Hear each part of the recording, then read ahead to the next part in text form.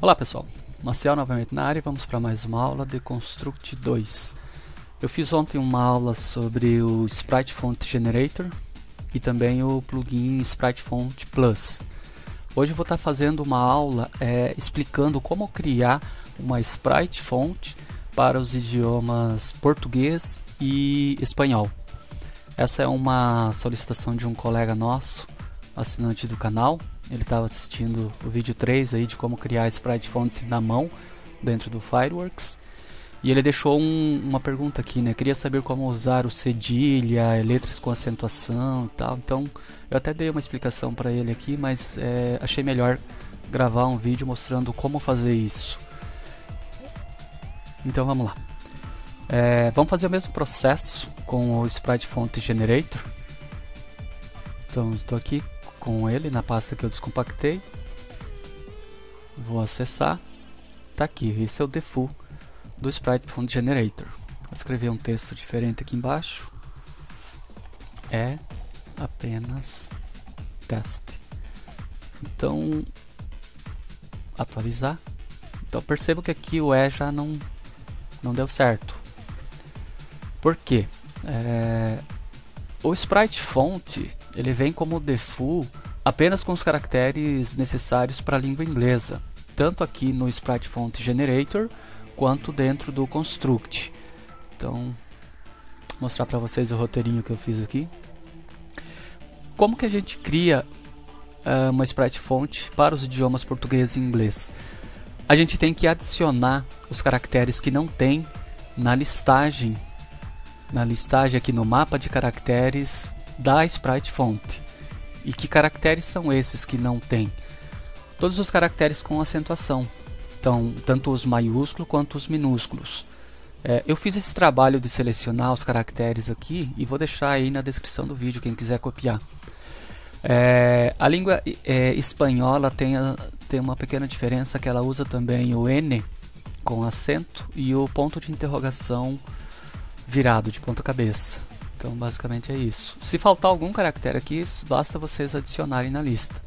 Mas basicamente seria a gente é, pegar esse conjunto de caracteres que não vem no default da Sprite Font, vamos lá no final dela e colar.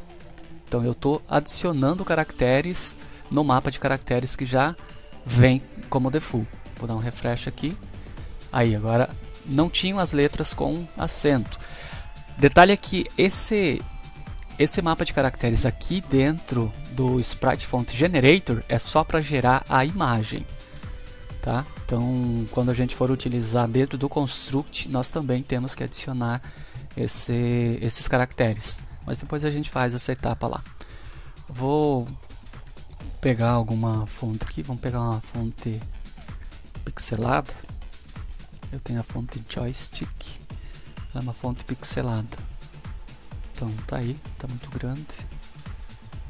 48, 36 tá aí, então percebam que nós temos o alfabeto maiúsculo depois o alfabeto minúsculo e a, é, é, essa, essa fonte que eu estou usando ela não tem o alfabeto minúsculo. Então mesmo que eu tenha ela aqui no mapa de caracteres ela não vem com o alfabeto minúsculo então ela vai estar mostrando aqui só maiúsculo. Mas aqui embaixo eu já percebo que tem os, os caracteres com acentuação. Tá. Vamos pegar outra fonte aí, só para mostrar ó, essa aqui. Deixa eu ver se essa tem os minúsculos. Não, também. Então, vamos pegar uma fonte normal.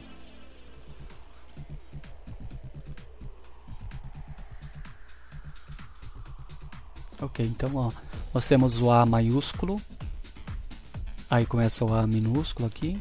E nós temos eles com acento aqui. E por fim aqui o ponto de interrogação de ponta cabeça. Mas independente do não ter minúsculo, vamos, vamos fazer com a, a fonte Joy. Eu gosto dessa fonte. Para jogos ela é legal. Vou só colocar um contorno branco nela. Para ficar mais bonito ok, essa é a fonte que eu quero, o resultado que eu quero. Então eu vou salvar. Vou criar uma segunda pasta de teste, uma terceira pasta de teste.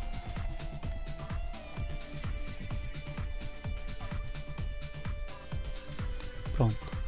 Agora vamos usar essa fonte no construct. Aqui o meu construct, vou fazer um projeto novo. Eu já vou usar a própria plugin de Sprite Font Plus. Que ele deixa as fontes mais aproximadas. Então aqui eu vou abrir a fonte que eu acabei de gerar lá. Teste 3. Tá aqui a, a imagem dela e eu preciso abrir agora o arquivo de configurações para me copiar as configurações. Então vamos lá onde eu exportei. Pasta 3, esse aqui é um arquivo texto de configuração. Então eu vou copiar o tamanho, é 5,5 de altura e largura 4,4. Então vamos lá. Aqui, 5,5 4, 4. Vou escrever outro texto aqui. Não. Só, só não.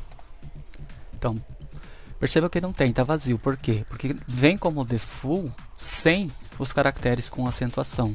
Então, para criar a sprite font, que ela é a imagem, eu uso acrescentar os, os caracteres que não tem mas para mim utilizar essa imagem no plugin dentro do construct, eu também tenho que adicionar esses caracteres. Lembra que é adicionar, não, não apaga os que tem antes, só adiciona os caracteres que não tinham, que são os caracteres com especiais ali, com acento e tal. Então agora tem. Tá? Então, como default, a Sprite Font ou Sprite Font Plus, nenhuma delas vem com os caracteres acentuados. Como default, nenhuma delas vem. Então você tem que ter esses, colocar esses caracteres. Só que só colocar os caracteres e não ter na imagem não dá certo. E se você colocar na imagem e não colocar no no texto aqui, também não dá certo. São duas são duas etapas. Tem que fazer a sprite font com os caracteres, fazer a imagem com os caracteres e colocar esses caracteres em cada uma das sprite fonts que você instanciar aqui dentro do plugin, dentro do construct. Vamos usar agora aqui aquele aquele parâmetro para reduzir o, o espaçamento entre os, os caracteres. Então é só copiar essa linha aqui que é um JSON, essa linha completa aqui. Selecionei, copiei ela. E aqui dentro do construct, só na sprite font plus tem isso. Na Sprite Font normal não tem. Tem esse campo aqui de JSON. Vou colar aqui. Pronto, ficou um, um texto normal.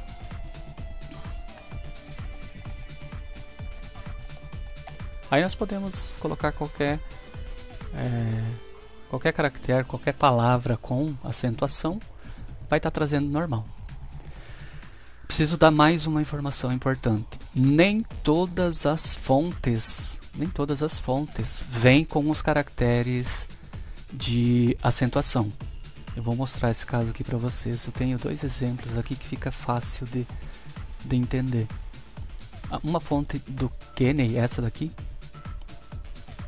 ó, é, ela é uma fonte bonita, também dá para usar para jogos, mas percebam que ela não tem uh, os caracteres com acentuação. Ela não possui os caracteres com acentuação. Então, se você fizer essa sprite font aqui, quando tiver usando uma letra com acento, ela vai ficar essa sem, sem ser a, a original. Tem outra aqui, a Gan Gagli. Aqui, ó, essa aqui. Essa aqui é um, um outro exemplo. Ela é uma fonte bonita, porém ela não tem os caracteres especiais. Então tem fontes que foram feitas só para uh, o idioma inglês.